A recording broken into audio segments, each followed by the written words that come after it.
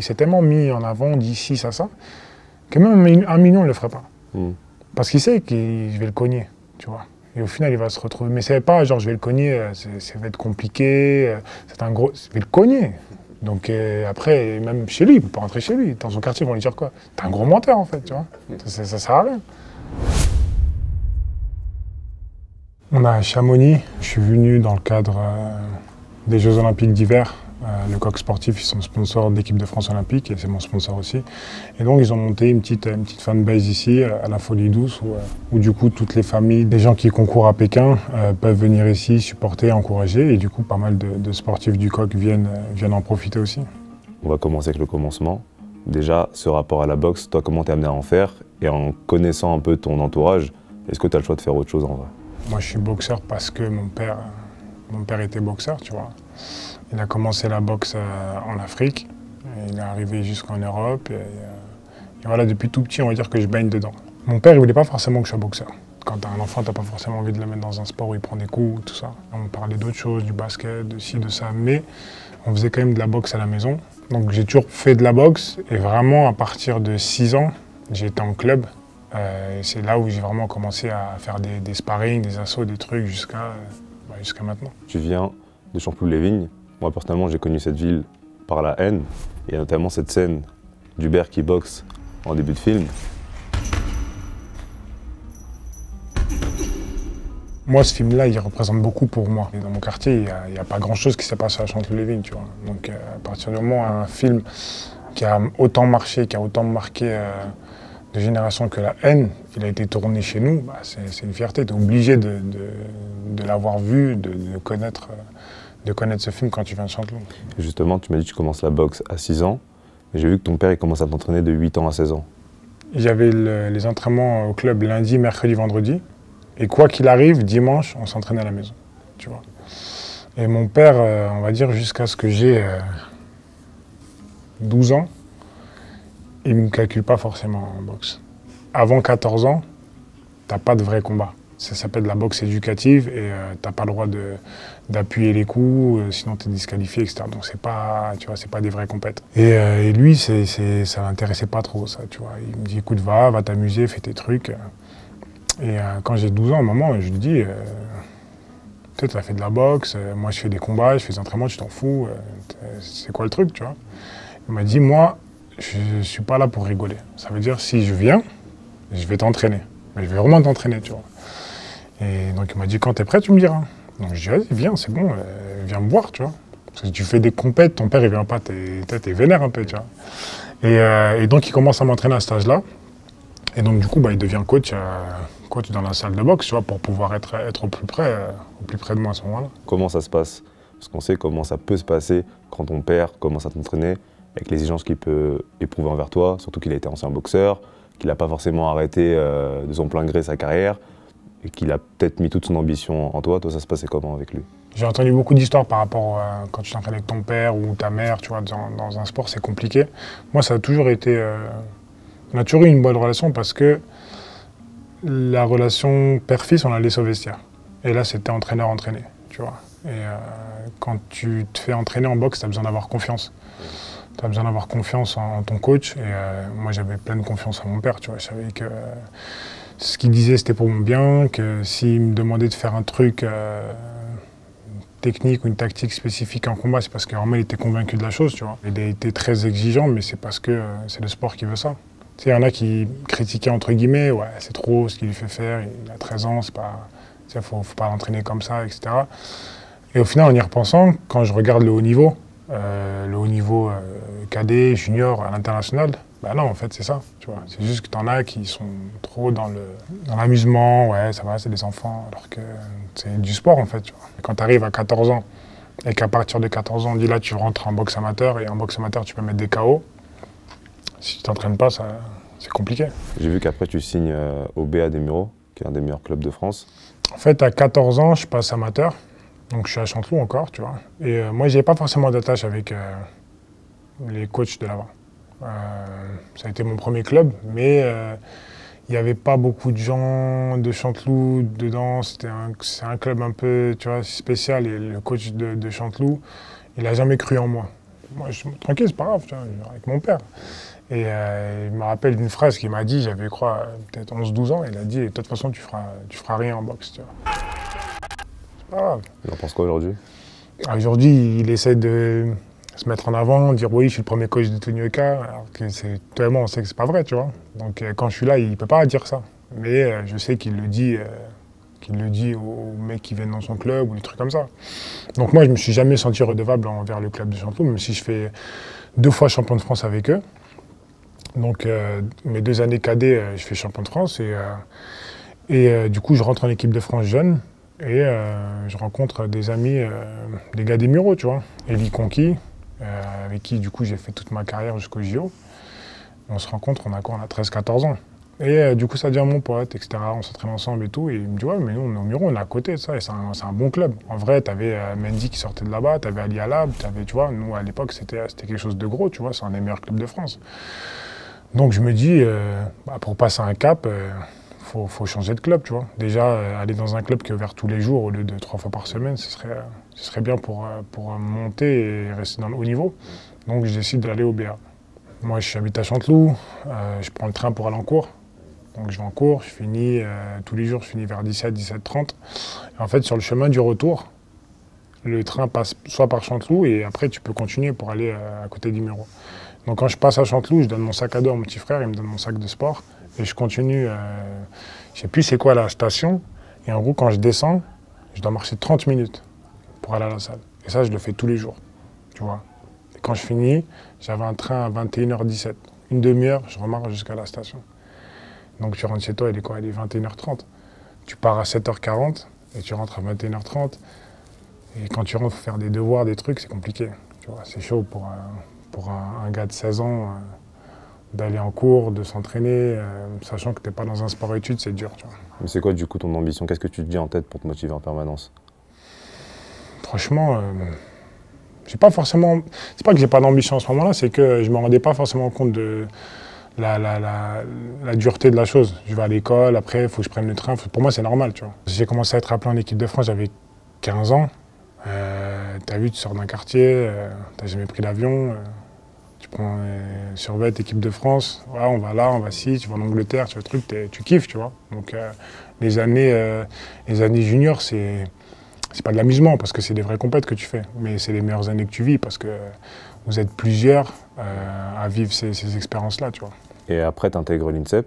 J'aimerais bien qu'on parle de ça parce que c'est quelque chose qui est pas, pour moi, très connu euh, des, euh, des gens même qui s'intéressent au sport. Est-ce que tu te fais repérer par rapport à tes résultats? Est-ce que c'est parce que tu es en équipe de France ou tu dois passer des détections pour, pour y aller? En boxe, c'est vraiment l'équipe de France qui gère tout, tu vois. Donc euh, je suis en équipe de France euh, cadet, donc moins de 16. Je fais l'équipe de France junior. Et normalement, à l'INSEP, tu rentres en senior, donc quand, tu as plus de 18 ans. Et, euh, moi, euh, comme je t'ai dit, euh, c'est compliqué. Tu vois, mon lycée, plus le truc, je me fais virer. je me fais virer de mon lycée et, et pendant 5 mois, je vais à l'INSEP tous les jours. Je fais Chanteloup-Lévin 7-8, INSEP Vincennes, tous les jours. C'est quoi, j'en ai pour une heure et demie, tu vois, pour arriver jusqu'à là-bas. Train, métro, bus, etc. J'arrive à l'INSEP, je m'entraîne à 11h. À, aller à 14h, je vais au self, je mange, je rentre. Euh, je, fais une sieste euh, sur le banc des vestiaires, tu vois. J'avais pas de chambre. Donc je dors sur le banc des vestiaires. Et après, je me rentraîne avec eux 16h30. Et je rentre chez moi, une heure et demie. Donc j'arrivais, ouais, pareil, 21h, 22h chez moi. Et ça, je le fais 5 mois, tous les jours. Et les, les mecs, ils se disent. euh, là, il n'y a pas un moyen de t'intégrer quand même à la structure? Non. Ah non, tu rentres pas en tant que mineur, tu vois. Donc euh, moi je fais ça cinq mois et ils se disent quand même, tu vois, le, gars il est déterminé, tu vois. Et euh, à l'époque je suis jeune mais je m'entraînais avec les grands. Et donc je vais au championnat d'Europe euh, junior et je suis médaillé. Donc comme je suis médaillé, mon père il parle avec la détaine et tout, ils disent regardez, t'as vu le petit il est là, tu sens que tu vois qu'il est déterminé, tu vois qu'il lâche pas l'affaire. Donc en gros, ça y est, le mec il fait euh, 3 heures de transport par jour, faut, faut penser à lui, tu vois. Donc de là, j'ai réussi à, intégrer l'INSEP en, tant qu'interne et euh, je reste, quoi, je fais 4-5 ans en interne à l'INSEP après ça. Tu as l'école sur place, tu as tes entraînements, du coup tu passes euh, d'un entraînement par jour à deux, tu vois, donc tu augmentes le niveau et, et en plus tu arrives dans un endroit où tu peux croiser, tu croises Teddy Riner, tu croises Ladji Doucouré, tu croises, tu vois, tu croises des gens comme ça. Et à 17-18 ans, ça, ça, te fait quelque chose quand même. Là, t'en parles de manière très sereine, mais en vrai, ça doit être une période un peu compliquée dans le sens où tu dois faire des sacrifices, tu peux pas forcément aller à toutes les soirées que tu veux à Chanteloup, tu es obligé de rester sur place. Toi, c'est quelque chose que tu as quand même réussi à gérer directement ou ça s'est fait sur le long terme? Non, non, non. Après, je pense que tu as il faut, faut savoir ce que tu veux de une et de deux quand tu es, quand es jeune comme ça, quand tu as 17-18 ans, tu, tu calcules pas en fait. Euh, toi, tu as envie de faire ça, ouais, tu pars en équipe de France, ok, vas-y, tu intègres l'INSEP, ouais, ok. Tu vois, on est un peu. Tu es innocent, tu as l'insouciance, donc tu fais les choses sans vraiment euh, réfléchir aux conséquences ou à ce que les sacrifices que tu vas devoir vraiment faire dans ta vie, tu vois. Parce que pour moi, certes, tu fais des sacrifices, mais tu as, quand même des bénéfices. Tu es en équipe de France, tu voyages, tu vois, c'est pas pareil. Première année où j'arrive à l'INSEP, je fais euh, médaille d'argent au championnat du monde junior et je fais médaille d'or aux Jeux olympiques juniors. Donc c'est des JO, mais euh, pour les moins de 18 ans. Justement, pendant des JO, il y a une époque qui est un peu, j'ai l'impression, zappée par les gens, c'est les JO 2012. Parce qu'on retient beaucoup les JO 2016 comme ta première participation, alors que pas du tout, il y a les JO 2012 avant, euh, dans lesquels, si tu me dis si je me trompe, mais tu tombes au premier tour, c'est ça? Mm.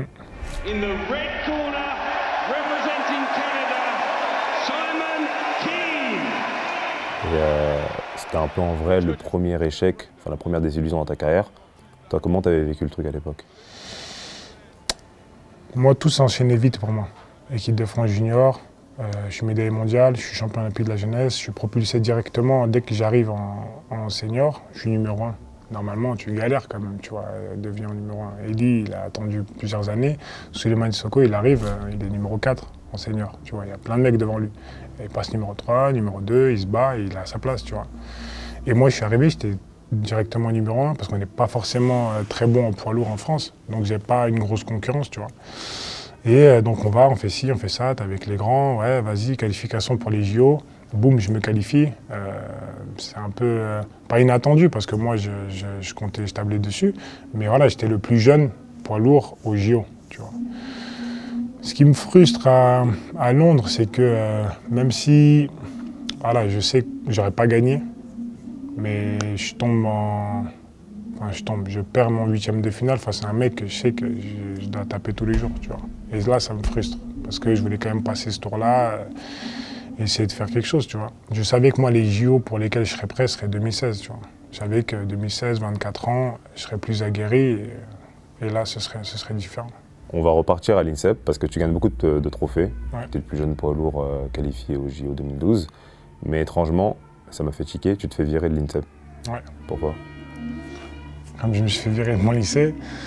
Bon, tu sais, quand tu es jeune, tu fais, euh, tu fais quelques conneries, tu vois.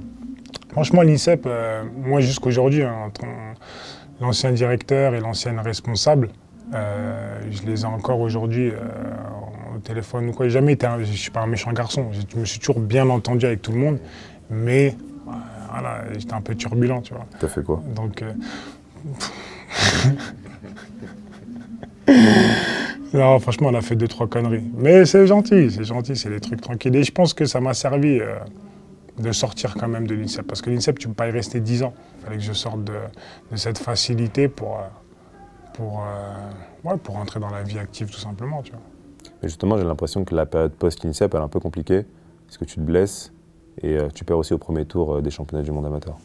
Ouais, je fais championnat du monde 2013, je fais une préparation, euh, je fais même pas la moitié de la prépa. Parce que euh, un coup, j'ai un doigt cassé, donc euh, vas-y, je ne m'entraîne pas trop pendant un, mois.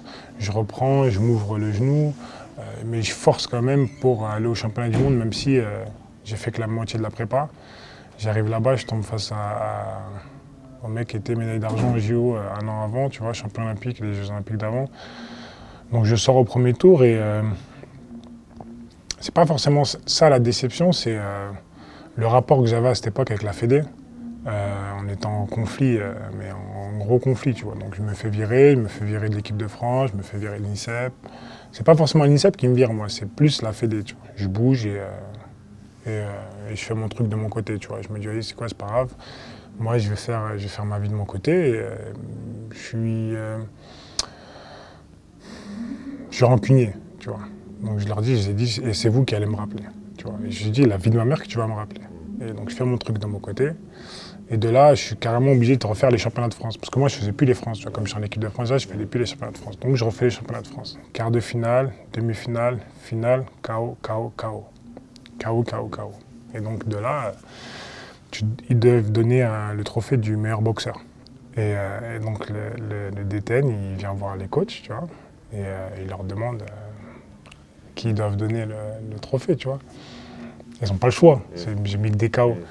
Et donc de là, ils me rendent le truc, ils me rappellent en équipe de France.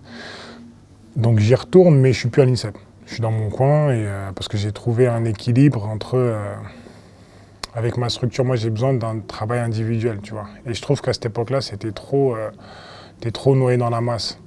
Sachant que moi je suis poids lourd, je peux pas m'entraîner comme le mec qui fait 60 kilos. On n'a pas les mêmes besoins, tu vois.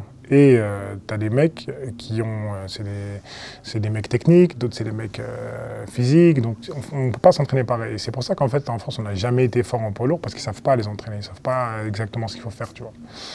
Donc moi je reste dans mon coin, je prends mon préparateur physique, je prends mon père, je prends euh, un autre coach et je me dis je vais rester, euh, je vais rester dans mon coin et on- je préfère m'entraîner comme ça, on verra où ça me mène. Tu vois. Ok. On s'est dit vas-y, moi je serai champion olympique en 2016, mais tu as des étapes avant d'être champion olympique. Tu arrives en quart de finale des mondes, tu fais une médaille au monde, et là tu vois qu'entre 2012 et euh, 2015, je fais médaille nulle part en fait. Parce qu'à chaque fois je suis blessé, euh, là ils m'ont viré, là j'y vais pas. Donc tu te rends tu te retrouves un an avant les JO, tu n'as pas encore fait de résultats.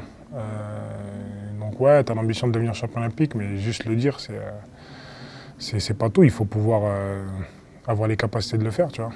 Et se passe comment du coup la préparation euh, pour les championnats du monde 2015 par exemple La prépa pour les mondes, du coup, elle se passe hyper bien. Pas de blessures, rien. Ça fait euh, des années que, que je ne me suis pas senti aussi bien, euh, aussi bien, tu vois. Donc quand je vais au monde, moi, j'y vais vraiment dans l'optique de faire un bon championnat du monde.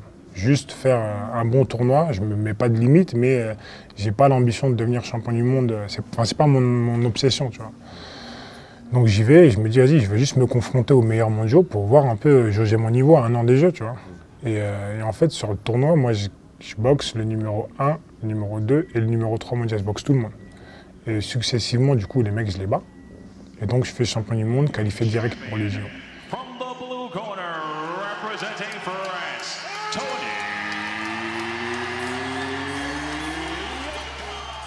Les JO, c'était dans 10 mois. tu vois. Et quand je descends du ring et tout, les gens célèbrent et tout. Et moi, je, je leur dis, putain, c'est un truc de fou. Disent quoi? Je dis, mais je vais être champion olympique. Et je suis, parce que moi, dans ma tête, je suis déjà sur ça. Et je me dis, avec la prépa que j'ai fait, là, je me suis entraîné quoi 3, 4 mois, je suis champion du monde. Je dis, c'est sûr, je vais être champion olympique. Et j'arrive au JO, moi, j'ai aucun doute. J'arrive, ouais, ça va bien se passer, tu vois. Parce que je suis, dans ma tête, je suis programmé. Mais c'est compliqué de parler comme ça en France. hein. Tu sais, le jour où j'arrive au JO, je suis numéro un mondial, champion du monde en titre. Je suis en pleine confiance. Euh, je fais des interviews quand tu arrives au Club France et tout. Et on me dit, oui, alors voilà, c'est quoi tes ambitions pour ces Jeux? Tu as fait les Jeux 2012, tu as perdu, etc. Moi, je dis, bah écoute, moi, je, viens prendre la médaille d'or. Moi, je suis là pour gagner. Et tu as des journalistes qui me disent, oui, mais vous savez, voilà, en France, on ne peut pas trop dire ça. Mais tu veux que je te dise quoi, en fait? Qu'est-ce- Tu attends ce que je te dise quoi? Que je viens euh, pour euh, la médaille de bronze? Je suis déjà champion du monde. Ce sera un échec, tu vois. Tu es obligé de dire que tu viens pour gagner. Le jour où je monte sur le ring et je viens pour perdre, c'est qu'il y a un problème. Parce que chaque combat, moi, je fais pas du ping-pong. Moi, je viens et je me bagarre avec quelqu'un. Donc, je peux pas imaginer dans ma tête ne pas gagner. Tu vois, ça peut arriver, mais je viens pour ça. Je peux pas venir pour autre chose. Il l'avait dit, il a assumé, il a assuré. À 24 ans, Tony Oka devient un poids lourd du sport français. Champion du monde et désormais champion olympique. C'est une grande carrière qui s'ouvre à lui. Ce titre n'est pas un aboutissement, il est le point de départ d'une grande histoire, d'une grande carrière pour Tony Oka. Et puis- En plus, euh, Estelle, elle fait, euh, elle passe ses tours avant moi. Donc j'ai cette pression en plus, tu vois. Elle devient, moi je gagne mon, ma demi-finale, une heure après, elle devient championne olympique. Moi, je boxe deux jours après. C'est, tu, tu veux que je fasse quoi? Je suis obligé de gagner. Je fais médaille d'argent, ça casse le truc. euh, Tu vois, on va dire, vas-y, toi, c'est bon. Tu vois, tu, tu niques tout. Donc euh, j'ai eu une grosse pression, mais comme euh, j'étais champion du monde et que j'arrive en tant que numéro un, j'ai eu dix mois en fait pour me préparer à, à cet événement. Toi, tu te dis pas, par exemple, que peut y avoir un excès de zèle à part du jury, au décompte des points, des, des choses dans le genre? Non. Franchement, à cette époque-là, il y a beaucoup de, de vols en boxe, mais euh, je savais qu'on était protégé. Tu vois, euh, ça aurait été d'autres Jeux Olympiques, j'aurais peut-être pas fait champion olympique. Parce que les juges, voilà, si tu aurais boxé tel pays, euh, ça, ça. Quel pays? Tous les pays, euh, tout ce qui est Kazakhstan, Russie, tu, tu- tu sais que les mecs, si tu le boxes, c'est compliqué, tu vois, au niveau des pointages. Tu te rappelles ce que tu- t'es dit pardon, quand le jury a rendu sa décision, en finale? T'as vu, nous, on avait un système, t'as pas le pointage des juges, Ouais, mais euh, à la télé, tu l'as. ok. tu vois. Donc euh, nous, il y avait toujours quelqu'un qui restait en tribune et qui regardait sur son téléphone le pointage à la minute de repos, tu vois. Et donc moi, à la minute de repos, je suis avec mes coachs pendant 50 secondes. Et tu sais, les 10 dernières secondes, ils tapent, tu vois. Donc les 10 dernières secondes, tu te lèves et tout, tu repars. Et moi, quand je, quand je me relève, je regarde la tribune. Et si on me fait ça, c'est que je gagne le round. Si on fait ça, c'est que je perds. Si on fait ça, c'est qu'en gros, je gagne deux juges à un. Donc c'est mitigé, tu vois. Et donc, premier round, je regarde, on fait ça.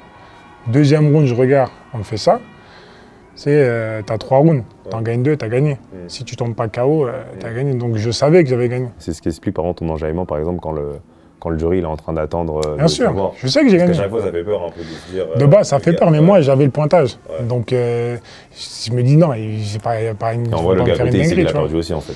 Non, parce que je sais pas si eux, ils, Ah, ils regardaient les points ou pas, tu vois, je sais pas. Euh, Peut-être, nous, en tout cas, on avait cette, tactique-là avec, euh, avec l'équipe de France. Quand on est sur le toit de la France et le toit du monde chez les amateurs, on gagne bien sa vie ou pas?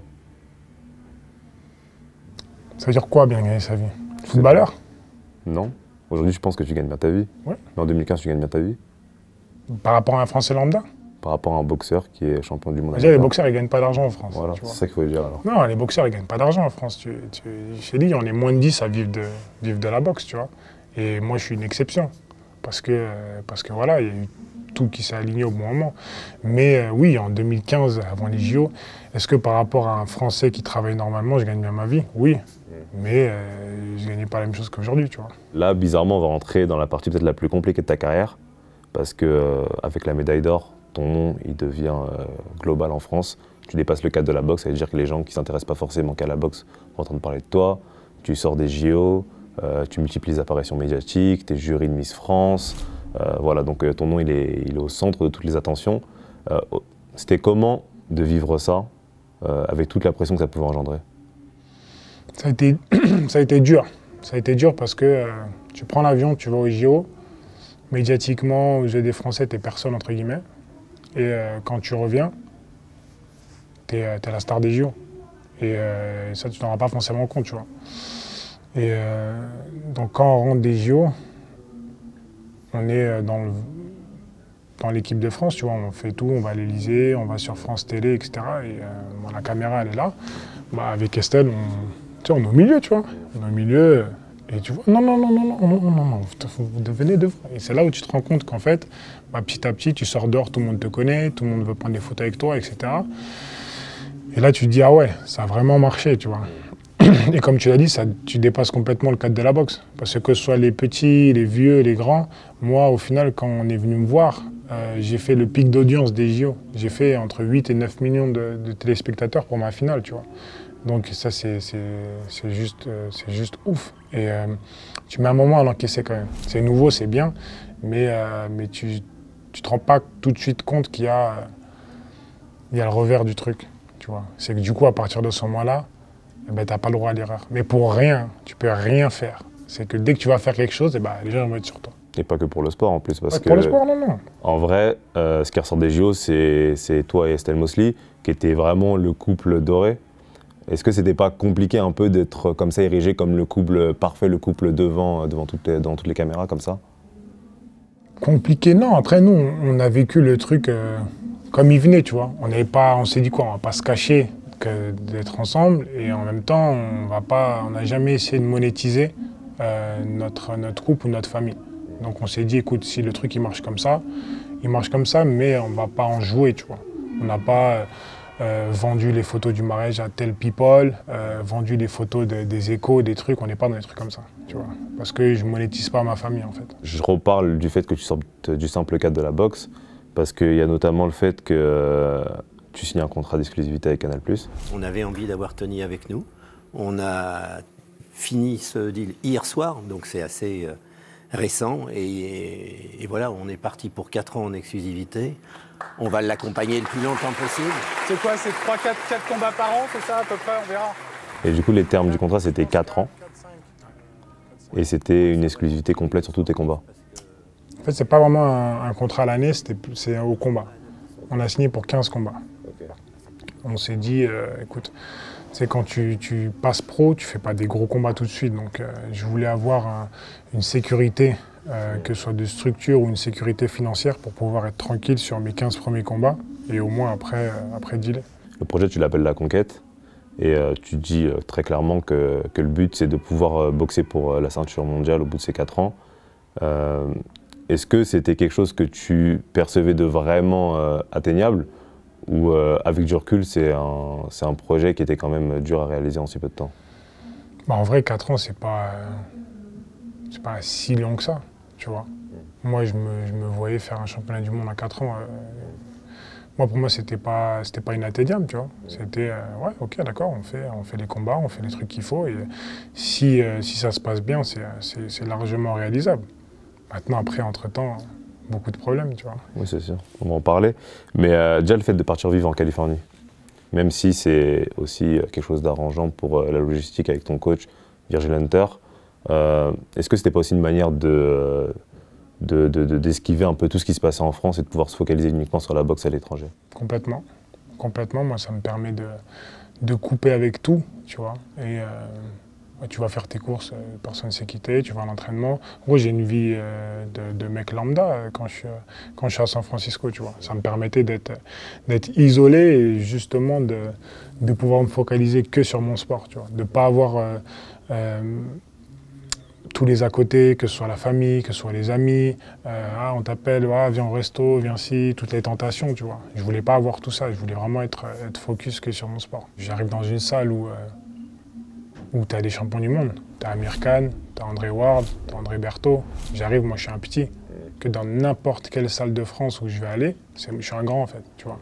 Et je voulais pas avoir ce statut-là. Je voulais pouvoir apprendre d'autres mecs. Et surtout avoir un coach qui a déjà fait, qui est déjà passé par là. En fait, je veux pas arriver un jour euh, sur un titre mondial et euh, moi c'est ma première et mon coach aussi c'est sa première et qui va me dire quoi en fait, tu vois. Et là, quel coach français il a amené euh, un mec champion olympique sur, sur le toit du monde?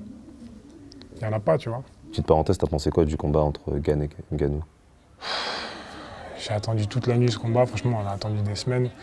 Et euh, forcément, moi j'étais pour, euh, pour Cyril. Euh, il était présent d'ailleurs à mon combat, mon dernier combat. C'est un top gars et franchement, je respecte énormément ce qu'il fait, tu vois.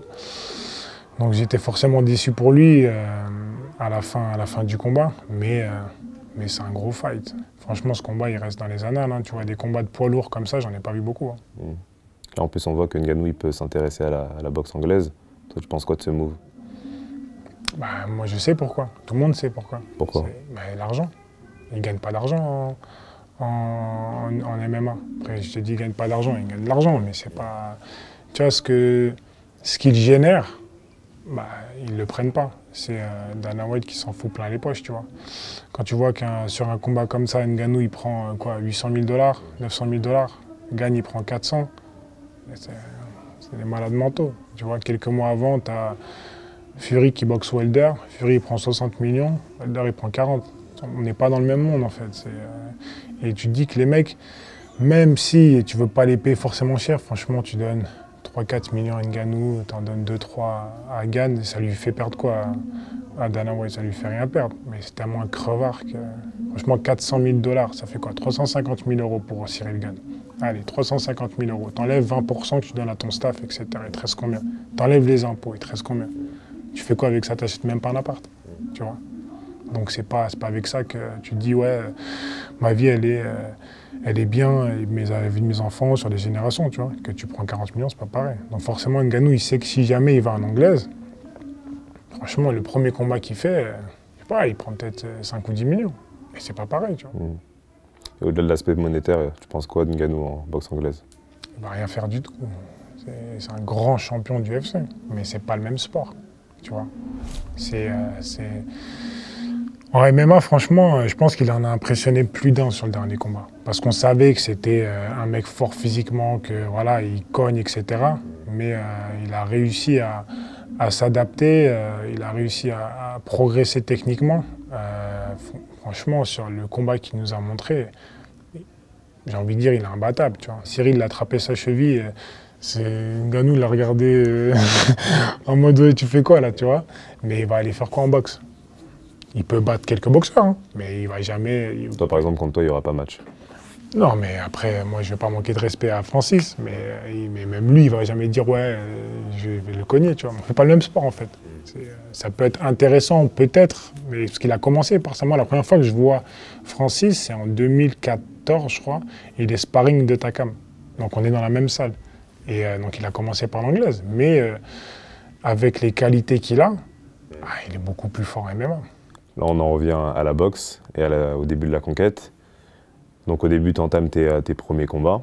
Je me rappelle, tu fais trois victoires en 6-7 mois. Tu enchaînes les victoires. Et ce qui revient en permanence, c'est le fait que tu combattes contre des seconds couteaux. Et euh, je le voyais notamment sur les réseaux, je pense que tu l'as vu aussi. Des oui, ok, il affronte le boucher du coin, il affronte un, agent de la Sécu. Toi, comment tu prenais ça sur le coup? Tu prends mal forcément, tu vois, tu le prends mal et surtout, euh, si c'est mérité, je te dis ok, c'est pas mérité. Quand tu arrives en boxe pro, tu dois progresser. Tu dois adapter ta, ta boxe qui était amateur à ta boxe professionnelle. Et surtout, tu dois monter dans le classement. Surtout, Tu n'as pas le droit de perdre en plus. Et tu boxes pas n'importe qui. Tu peux pas dire ouais, euh, moi demain, je peux pas dire ouais, je boxe Fury. Euh, C'est comme ma légitimité. Je suis combien au classement pour le boxer, tu vois? Donc, euh, on est 1200 dans le monde, dans le classement. Tu vois, sur BoxRec, on est, on est 1200. Donc, il faut que tu montes, tu vois. Donc, mon premier combat, je prends un mec qui est classé euh, dans les 300, je crois. C'est bien, déjà. Je le prends, je le bats. À mon deuxième combat, mon adversaire il est classé 98. Et tout le monde me dit, mais t'es un fou, euh, tu boxes d'autres personnes, tu vois. Mais comme je suis au-dessus de lui, et que les gens ne connaissent pas, ah vas-y, euh, il est nul. Alors que non. Mon cinquième combat, c'est David Allen, il est classé numéro 20 mondial. Tu pas me dire que j'ai affronté un boucher. 20 mondial C'est les mecs qui connaissent pas, parce qu'ils connaissent Joshua, Wilder, aujourd'hui ils connaissent Fury, et c'est tout, tu vois. Après ça, ils connaissent rien. Et le truc, c'est que même les journalistes, eh ben, ils tombent dedans. Tu vois, au lieu d'éduquer, entre guillemets, euh, le public, de leur donner de la vraie information, ben, les mecs, ils suivent le truc. Parce que quand tu as un Français qui rentre dans le top 100, ah, c'est le roi du pétrole, oui, c'est notre nouveau chouchou, c'est notre nouveau signe. Tu imagines, demain, tu es numéro 20 ATP C'est, ouais, t'es es, quelqu'un, tu vois. Moi, je boxe le 20, tu dis c'est un boucher. Ben non, tu peux pas me dire ça. Tu vas encore sur les réseaux après tes combats ou plus du tout? Moi, les réseaux, j'ai laissé. Moi, les réseaux, j'ai laissé à quelqu'un. mais- Non, sinon, je vais insulter quelqu'un, tu vois. Donc, j'ai laissé. Et, euh, et tu, tu te rends compte au bout d'un moment que. Tu as vu, tu es trop focalisé sur le mauvais. Et il y a forcément des gens qui vont pas t'aimer dans ta vie, en fait, c'est comme ça. Euh, Il y a des gens qui m'aiment pas, mais il y a des gens qui t'aiment pas, toi. Et toi, il y a des gens qui t'aiment pas. Il y a des gens qui n'aiment pas tout le monde. Mais même si on t'es pas connu, tu vois, tu as des gens qui t'aiment bien et tu as des gens qui t'aiment pas. Il faut arriver à, à l'accepter que même s'ils ne me connaissent pas, ils m'aiment pas. Donc si tu as 100 commentaires que tu en as 5 négatifs, toi, tu vas te concentrer sur ça au lieu de regarder les autres personnes qui, elles, t'apportent du soutien et t'apportent de la force. Et aujourd'hui, moi, je préfère me concentrer sur ça. Regarder les mecs qui, eux, m'apportent du soutien, bah voilà, je préfère rester avec eux. Là, mon prochain combat, je boxe le numéro 18 mondial. Si je galère, les mecs du top 10, ils vont rigoler, tu vois. Ils vont dire, bah, il n'a pas sa place ici. Donc justement, en fait, il faut, faut, passer, euh, faut passer le truc vite, tu vois. Quand le PSG, il arrive en, Champions League et que, je sais pas, admettons en huitième, il aurait joué le Sporting Portugal. S'il ne gagne pas 3-0, on va se dire, il y a un problème, tu vois. Je prends du recul et je prends plus les trucs euh, aussi personnellement que, je pouvais les prendre avant, tu vois. Après, en vrai, si j'ai un truc à dire, je le dis. Euh, et c'est pour ça que justement, euh, tu vas croiser très peu de gens qui euh, n'ont pas d'avis sur moi. Soit ils m'aiment bien, soit ils m'aiment pas. Mais tu as peu de gens qui vont te dire, ouais, c'est toujours si tu me connais, tu m'aimes bien ou tu m'aimes pas. Parce que je dis ce que je pense et en vrai, ça plaît, ça plaît, ça plaît pas, je m'en fous en fait. Mais dans les cas concrets, par exemple, quand, quand tu mets une story dans laquelle tu montres que tu es, que contre Messi, peut-être même plus pour Ronaldo, ou euh, que tu réagis de manière plus ou moins virulente euh, avec euh, ce qui s'est passé pour George Floyd, est-ce qu'avec du recul, tu te dis que tu merdé ou euh, c'est des choses que tu referais si, tu pouvais les faire? Le mieux, en vrai, c'est d'avoir un truc le plus lisse possible, tu vois. Mais, euh, mais ça fait partie de mon expérience. Je vais pas dire que je regrette un truc alors qu'en fait, je le regrette pas, tu vois. Et, euh, et ce qui m'embête, en fait, c'est toujours le fait de, de pointer du doigt un truc alors que, certes, la forme n'est pas bonne, mais en fait, on parle du fond du problème. C'est comme George Floyd. Comment tu peux t'indigner euh, plus de ma réaction que de ce qui se passe? C'est ça, en fait, le problème. C'est Moi, je te parle d'un problème. Et ce problème-là, j'y suis confronté. Et euh, mes enfants peuvent y être confrontés. Tu vois, à cette époque-là, je vais aux États-Unis avec, euh, avec mon fils. On fait comment, en fait? Moi, les, les, la police là-bas, ils ne me connaissent pas. hein. Tu vois, donc ici, ouais, ok, je les connais, on est en France, mais là-bas, je fais quoi? Je avec lui dans la voiture, quoi? Je ramasse le biberon, on me tire dessus. Tu peux te- faut réfléchir, tu vois. Et le truc avec Messi, en vrai, moi, ça m'a fait rigoler. J'ai même pas. euh, Parce que les gens pensaient que c'était toi qui avais écrit en plus. euh, non, mais en fait, t'as vu, je suis sur un débat avec euh, des amis à moi et, euh, et bref, il y a ce poste-là qui arrive. Donc, donc forcément, tu as des pro-Ronaldo, pro-Messi, euh, comme dans, dans tous tes amis, tu as des pro-Real, pro-Barça, tu vois. Et donc, je mets ça pour rigoler, tu vois. Mais moi, je sais pas que ça va être repris. Et, euh, et là, ça devient viral et c'est partout sur Twitter, sur si ça. Je t'ai dit, j'ai passé, euh, je suis passé sur BFM TV à cause de. T'es passé partout. C'est Ah, passé sur Bouscapé c'est aussi. C'est un truc de fou. Je me dis, ah C'est ouais. qui ai écrit l'article, en plus. Dinguerie. J'ai dit, ah ouais, en fait, c'est puissant, tu vois. Faut pas parler de Messi. Mais moi, ça m'a fait rire, en vrai. J'ai dit quoi? J'ai pas insulté sa mère. J'ai dit que le ballon d'or, il ne le mérite pas. Et je le pense toujours et je le redis, il ne le mérite pas le ballon d'or cette année, tu vois. On revient à la boxe, là tu étais sur un sacré run, on l'a dit, t'enchaînes plein de victoires, et là il y a un coup de frein, c'est euh, ta sanction, enfin ta suspension, t'es euh, condamné, enfin t'es suspendu pardon, à un an avec sursis par la commission antidopage de la Fédération française de boxe pour manquement à la réglementation antidopage. Moi je te cache pas que c'est un truc archi flou de mon côté, je ne sais pas vraiment ce qui s'est passé, de quoi être condamné à, à l'époque, exactement? En fait, le truc qui m'a un peu énervé, moi, sur cette histoire, c'est que euh, c'est pas bien expliqué. Que quand tu connais pas, tu sais pas de quoi on parle. Et quand tu regardes un article où c'est marqué dans le titre Tony Yoka et dopage, tu, tu regardes même pas l'article. Mais tu peux pas associer mon nom à du dopage pour un truc comme ça. Je vais prendre deux minutes, je vais t'expliquer comment ça se passe quand tu es, sportif. Tu dois dire tous les jours, tu as donné un créneau de une heure tous les jours à la fédération antidopage. Par exemple, là, ils savent que je suis ici. Ils ont l'adresse. C'est-à-dire tous les jours, s'ils veulent venir, ils viennent.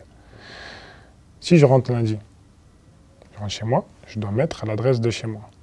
Si je vais, si je dors chez toi, je vais mettre l'adresse de chez toi. Tu vois, tous les jours. Et en gros, s'ils viennent et que tu n'es pas là, tu as un avertissement. Et au bout du troisième, tu es suspendu. Moi, je fais les Jeux Olympiques. Je, euh, suis contrôlé je ne sais pas combien de fois avant les JO. Pas dopé. J'arrive en finale. Quand tu finis la finale, ils te contrôlent. Pas dopé. Moi, après, je prends six mois de vacances. Je me dis, je suis champion olympique, je vais m'éclater. Pourquoi tu veux me contrôler? Je ne m'entraîne pas. J'ai pas de combat. En fait, c'est ça qui me dérange avec eux. C'est que tu as vu la fédération américaine, pendant trois ou quatre mois avant ton combat, ils vont te contrôler. Et je le comprends, parce qu'on a un combat, on a une échéance qui arrive, tu me contrôles, tu me contrôles, tu me contrôles, pas de souci. La fédération française, quand je boxe, je descends du ring, ils me contrôlent, pour voir si j'étais dopé pendant le combat. Mm. Trois jours plus tard, tu reviens me contrôler. Je suis en vacances. Ça se trouve, je suis pompé up. euh, je m'entraîne même pas en fait. Mm. Pourquoi tu veux me contrôler? Et c'est ça, eux, ils viennent, ils te contrôlent. Ah, t'étais pas là, ok, si, ça, ça. Et moi, je me suis dit, bon, allez, ils vont voir que c'était après les JO, euh, qu'il n'y a pas forcément eu de, de problème, que ça n'a jamais été pendant une compète ou avant un combat. Ils vont pas me, vont pas me suspendre. Peut-être ils vont me mettre trois mois, allez, six mois. Quand ils me mettent un an, c'est du sabotage. Tu peux pas me faire ça, en fait, tu vois. Et en gros, la dernière, la dernière fois que j'ai un problème avec eux, c'est euh, au lieu de remplir le nouveau trimestre avant le 30 juin, eh ben, on le remplit le 2 juillet. Et parce que c'est c'est deux jours de battement, bah, voilà. problème, sanction, suspendu. Et moi, c'est un truc que je ne peux pas gérer. Parce que je peux pas euh, tous les jours savoir où. Je- tu sais, des fois j'ai oublié, tu vois. Tu es focus sur ta, sur ta boxe, tu es focus sur ci, tu es focus sur ça et euh, tu calcules pas. Donc depuis que j'ai été suspendu, bah, c'est même plus moi qui gère. C'est mon gars, il gère et c'est lui qui remplit où je suis. Et des fois, moi, je vais zapper. À telle heure, il me dit Ouais, tu dors où ce soir? Ah ouais, attends, j'ai zappé, mais euh, chez mes parents. Parce que c'est pas un truc euh, qui est. En fait, on- mets-moi un bracelet, c'est mieux. Ouais, c'est sincèrement, c'est bracelet, bracelet électronique, c'est un truc de fou. Tu dois pointer tous les jours. Et si tu le remplis pas, par exemple, là j'ai dit que j'étais ici. Si je veux changer euh, pour demain, il faut que je change avant 17h.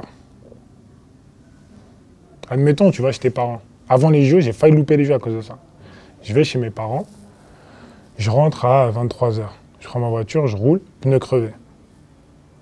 Bon, je reste chez mes parents. Mes parents chantent les vignes. Et moi, j'habite à Champigny. Je me lève le matin, euh, je me dis, putain, je me laisse mon téléphone sur sonnerie, je suis sûr qu'ils vont appeler. Et ils m'appellent 7h du matin, bonjour, agence anti-dopage, on est devant chez vous. Champigny. Je dis, purée, t'as une heure pour être là, tu vois. Et je me dis, en une heure, c'est impossible le matin euh, que j'arrive jusque là-bas. Donc, euh, comme par hasard, eu de la chance, ils contrôlaient Estelle. Et euh, ils te font urine et sang. Et je lui dis, tu pisses pas, donc je suis pas là. Donc du coup, moi, je prends le taxi G7. Franchement, je fais une heure et demie. Et le gars, il a été cool, tu vois. Je lui ai expliqué l'histoire et tout, il a été cool. Et du coup, j'ai pas eu de problème. Mais tu te dis, je peux louper les JO à cause de ça. C'est un peu de l'acharnement quand même. Franchement, c'est dur. C'est dur. Il faut qu'il trouve une solution, mais ça, ça c'est compliqué. En vrai, franchement, il devrait, euh, je sais pas, mettre un truc. T'as- on a le téléphone tout le temps. Mets un truc dans mon téléphone. Je préfère sincèrement que tu mettes un truc dans mon téléphone, tu me pistes, c'est pas grave. Mais, euh, mais là, tu as vu quand tu loupes, euh, c'est chaud, tu vois. C'est long et en plus, ça a entaché mon image. Parce que euh, du coup, les gens ont associé euh, mon nom avec du dopage, tu vois. Là, par exemple, si tu parles avec euh, des Anglais, ils vont dire ouais, euh, cheater. Alors qu'il n'y a jamais eu aucune question de dopage, en fait. C'est pas ça le truc. Mais, euh, comme je t'ai dit, c'est la titrologie. Tu mets mon nom, tu mets dopage, les gens ne vont pas chercher plus loin, tu vois. Est-ce que tu dirais que ton titre olympique, c'est plus une bénédiction ou un fardeau? Un fardeau par rapport à quoi? Par rapport à tout ce qui s'ensuit Je suis le premier champion olympique français en poids lourd. Euh, à partir du moment où je gagne les JO, euh, j'appelle ma mère, enfin, arrête de travailler, tu vois. J'offre une maison à mes parents, euh, je leur ai construit un truc de fou. On a grandi en HLM, tu vois. On était trois dans la même chambre, tu dors à deux dans le lit. Mes parents, aujourd'hui, ils ont une villa. Comment je peux te dire que c'est un fardeau, tu vois?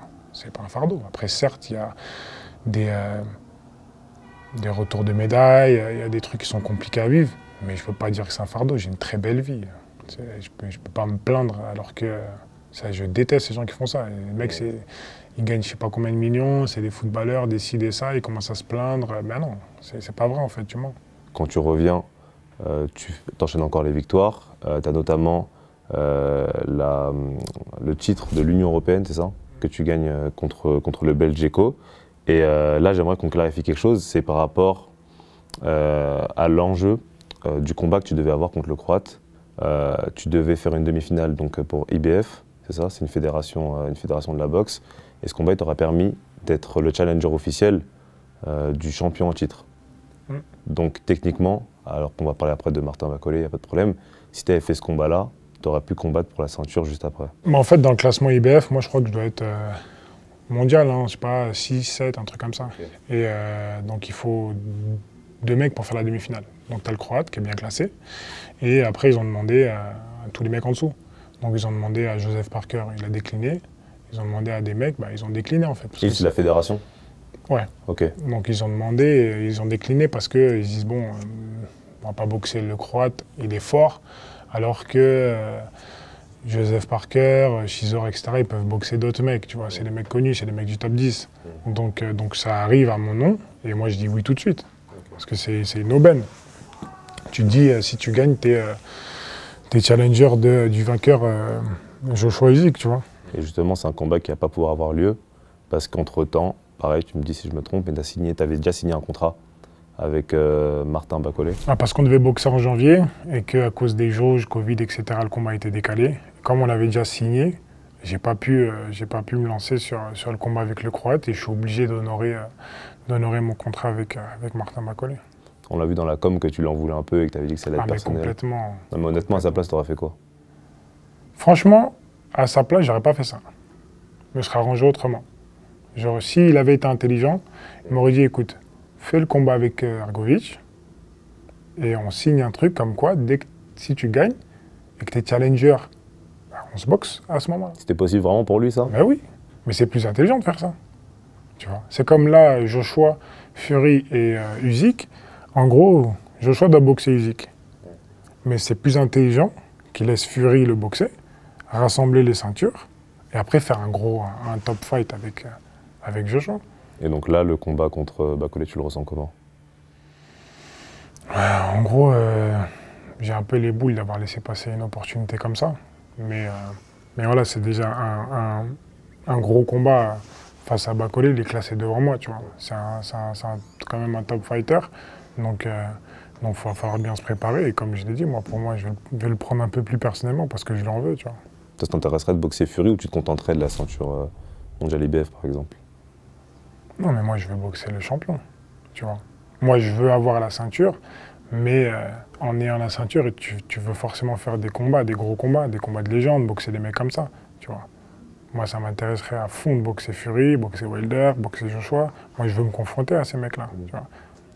Et tu vois, quand on voit un peu tes ambitions, c'est un peu étonnant de voir qu'en France, on attend de toi que tu combattes par exemple quelqu'un comme Raphaël Troncher. Je sais pas, je sais pas si, on peut en parler, tu vois, même que tu expliques clairement aux gens, mais en me renseignant pour l'interview, j'ai compris qu'en vrai, euh, il y en a un des deux qui a, tout à gagner, mais toi, en vrai, tu es, complètement sur autre chose. Mais non, mais ça, c'est parce que tu sais, euh, les détracteurs, ils essayent de se raccrocher à quelque chose, tu vois. Et euh, donc, comme, euh, comme ils ont vu qu'ils faisaient un peu de bodybuilding, c'est ça en fait, les gens. Quand ils, quand ils voient que tu as des muscles, ah, il est fort. Regarde Tyson Fury. Regarde Fury, compare-le au corps à Joshua et à Wilder. Alors qu'il les défonce les deux, hein, tu vois. Et Fury, il est comme ça. Mais en boxe, ça n'a rien, rien à voir, ça veut rien dire. Certes, c'est bien d'être fort physiquement, mais euh, c'est pas parce que tu as des muscles que tu vas être fort, tu vois. Donc, euh, donc non, ça va être tranché. On a voulu faire ce combat en 2018, tu vois. Parce qu'à l'époque, je viens de battre Cyril Léonet, qui était l'ancien champion de France. Et donc, pour mon cinquième combat, je veux faire la, la ceinture de champion de France. Donc, on veut faire ce combat, c'est à ce moment-là. Aujourd'hui, c'est, ça sert à rien, en fait. Moi, je veux une autre ceinture. J'ai été champion de l'Union Européenne, donc ceinture de champion de France, ça m'intéresse pas, tu vois. Et le combat, il s'est pas fait à cause d'un problème de cachet? À cause d'un problème d'ego. Tu m'as jamais vu, c'est la première fois que tu me vois. Maintenant tu me sens et là maintenant tu vois qui est en face de toi. Je suis pas Johan moi. Y a pas de trash talking, mais à un moment donné, fais tes bisous, fais tes bisous, fais. Tu vois. Si vous voulez pas être moins payé que toi. En fait, le truc, c'est comme je t'ai dit, en boxe, t'as des gens qui sont intelligents et des gens qui sont bêtes. Dans le sport, marketing, c'est comme ça que ça marche. Moi, si demain je vais, euh, je sais pas, je vais dans une marque, euh, une télé, je vais pas demander à être payé pareil que Mbappé. Je peux pas. On n'a pas. C'est pas que lui, c'est un meilleur mec que moi. C'est juste que, euh, en fait, businessment parlant, je, je sais qu'on n'a pas la même valeur, tu vois. Lui, il gagne 10 000 euros dans son combat dans les combats qu'il fait. Tu vois, il gagne 10 000 euros par combat. Moi, je lui propose jusqu'à 150 000. C'est le combat, le, championnat de France le mieux payé de l'histoire. Et tu me dis non, moi, je veux comme toi. Mais comment ça, tu veux comme moi? Tu peux pas avoir comme moi. Moi, j'ai un, contrat avec Canal, tu vois. Moi, toi, t'es pas champion olympique, toi, t'es pas, pas ci, t'as pas ça. Et il dit, moi, je veux comme toi. Et en plus, c'est pas toi qui organise, c'est moi. Donc c'est lui qui prend les bénéfices de, du stade, des billets. Il est fou le type. Tu peux pas parler avec lui en fait, tu vois. Et au final, tu te rends compte que c'est même pas une histoire d'argent parce que tu sais, à la fi- au final, tellement ça devient personnel, je lui dis écoute, viens, on va faire. On va prendre ton cachet, mon cachet, on va les mettre ensemble, et celui qui gagne, il prend. Même ça, c'était pas suffisant. Mais non, mais en fait, tu as vu, il a tellement parlé, il s'est tellement mis en avant d'ici, ça, ça, que même un mi- un million, il ne le ferait pas. Hmm. Parce qu'il sait que je vais le cogner, tu vois. Et au final, il va se retrouver. Mais c'est pas genre je vais le cogner, euh, ça va être compliqué, euh, c'est un gros. Je vais le cogner. Donc euh, après, même chez lui, il peut pas rentrer chez lui. Dans son quartier, ils vont lui dire quoi? T'es un gros menteur en fait, tu vois. Ça, ça sert à rien. En vrai, c'est quand tu connais un minimum, tu peux pas parler avec lui. C'est, on, on- mais non, on n'est pas ensemble. t'as jamais eu envie de prouver aux gens quand même? Si. Par exemple, quand il vient sur le ring et qu'il fait, euh, qu'il fait Mais le moi, choix quand il, quand il dit vas-y, il vient sur le ring, je me dis il vient sur le ring parce qu'il veut qu'on se boxe et qu'on va signer le contrat, tu vois. Mm. Moi, j'aime pas parler, parler, parler, ça, franchement, c'est chiant. Mm. Donc quand il vient, je dis ok. Du coup, le lendemain, on lui envoie la proposition de contrat. Bah non. Toujours pas. Il veut pas. Donc depuis, je parle pas de lui. Je parle pas de lui, tu parles pas de nous. Mais lui, il continue. Oui, moi, ah, ah, ah, qu'est-ce qu'il a fait depuis? Il a boxé un mec, un Argentin, qui était classé, je crois, 320e mondial. Et au premier round, il se fait sonner. Au premier round, le con, il se fait sonner. Non, il est nul. Franchement, sincèrement, c'est comme si tu me dis, il y a l'équipe de FC Chamonix qui dit au PSG, on va vous battre. C'est- En fait, en vrai, arrêtez les gars. Là, on en parle en filigrane un peu, mais maintenant que tu es devenu pro, tu prends combien sur un combat hein? Moi, j'ai le même contrat avec, euh, depuis le début, tu vois. Et si tu regardes sur Internet, tu sais, Non, pour c'est- 250 par combat, Ok. tu vois. Parce que j'ai signé ce contrat de base et je me dis, euh, c'était une sécurité euh, sur les premiers combats. Après, une fois que tu arrives sur, des, sur une demi-finale mondiale comme je devais faire ou que tu boxes un mec euh, mieux classé, bah, tu ne prends pas les mêmes cachets, tu prends plus, tu vois. Tu es toujours chez Canal, là? Toujours chez Canal. Et euh, le contrat avec le promoteur américain, c'est quelque chose qui est complètement extérieur à ce qui se passe avec Canal ou c'est un truc qui s'additionne? Non, c'est quand même lié. Il faut qu'ils puissent euh, bosser ensemble. Euh, moi, j'ai signé avec Top Rank, justement, pour pouvoir avoir des opportunités comme j'ai eu là, euh, sur la demi-finale, tu vois. Parce que je sais que euh, une fois que je vais boxer euh, des, top mondiales, des top 5, euh, moi, j'ai pas, de une, les ressources, et de deux, le- l'expérience nécessaire pour pouvoir bah, négocier avec eux sur, sur ce type de contrat, tu vois. De toute façon, quoi qu'il arrive, je sais que je vais devoir boxer en dehors de la France, tu vois. Parce que... parce que quand, quand tu organises le combat, ça veut dire que tu as gagné les enchères. Donc en gros, vous avez mis plus d'argent que les autres. Et demain, je boxe Joshua, qui sait qui va mettre plus d'argent plus d'argent qu'en France, tu vois. Mm. Moi, j'ai boxé en France depuis que je suis passé pro, mais j'ai envie de boxer à l'étranger, tu vois. Rester dans sa zone de confort, ça n'a jamais été euh, mon truc. Moi, j'ai envie d'aller euh, boxer à Vegas, boxer à Londres, tu vois. D'affronter un public? Complètement. C'est un truc, moi, ça va jamais me faire peur. Moi, ça va me motiver, justement. Tu sais, d'arriver dans une salle, tu boxes à Wembley et ils sont 80 000, ils sifflent. Ça, ça, ça donne... euh, moi, ça me donne la pêche, moi. Hmm. Depuis le début, on parle que de boxe, euh, mais c'est pas éternel. Ouais. Moi, j'aimerais bien... euh, j'ai pas ce souhait de devenir coach, etc. C'est pas, c'est pas mon truc, mais j'aimerais bien être promoteur, moi. Tu vois. Comme en France, on n'a pas, on n'a pas de grands promoteurs. on n'a pas de mecs vraiment... Tu vois, il y a eu les Acarias à un moment. Mais même ça, c'est pas, ils n'ont pas d'écurie, ils n'ont pas, ils ont pas créé en fait derrière ça. Ils n'ont pas monté euh, une salle comme euh, et la SM, comme Top Rank à, ces salles, tu vois. Et moi, c'est ce que j'aimerais faire. J'aimerais du coup, par rapport à ma renommée, par rapport à l'expérience que j'ai de ce sport, devenir promoteur, euh, signer des, mecs, monter l'écurie et faire en sorte que notre sport en France il soit plus connu. C'est dur d'exister en France en boxe. Parce que pour exister dans un sport, pour gagner de l'argent, euh, il faut une télé. Aujourd'hui, des télés qui mettent de l'argent sur la boxe, t'en as pas beaucoup, hein, tu vois. Pas que nous, en fait. T'as combien de boxeurs en France qui boxent euh, 500 euros, 600 euros? T'entraînes trois mois pour gagner 500 euros? Ah, Derrière, c'est sûr qu'ils ont un boulot, tu vois. Donc, ils sont pas, ils peuvent pas être vraiment pros, ils peuvent pas performer, tu vois. On arrive à la fin de l'interview. Comme je me le demandais, est-ce qu'il y a un sujet dont tu aurais aimé parler et qu'on n'a pas abordé? Par rapport au projet que j'ai, euh, il y a un truc qui va vraiment prendre pas mal de place, je pense, à partir de, de cette année, parce qu'on a tout mis en place et que ça va, et que ça va se concrétiser, c'est l'Afrique. Ça, c'est un truc qui m'a toujours tenu à cœur. Dans mon contrat avec Canal+, c'est marqué qu'on doit faire un combat là-bas, euh, parce que c'est un truc que j'ai envie de développer. Et, euh, et ça me... Ça me tient à cœur, ça me parle, et, euh, parce que tout simplement, mon père, il, il a commencé la boxe là-bas, et je me dis que de faire un combat là-bas, en gros, la boucle serait, serait bouclée, tu vois. Bah, Je te remercie en tout cas. Merci à toi.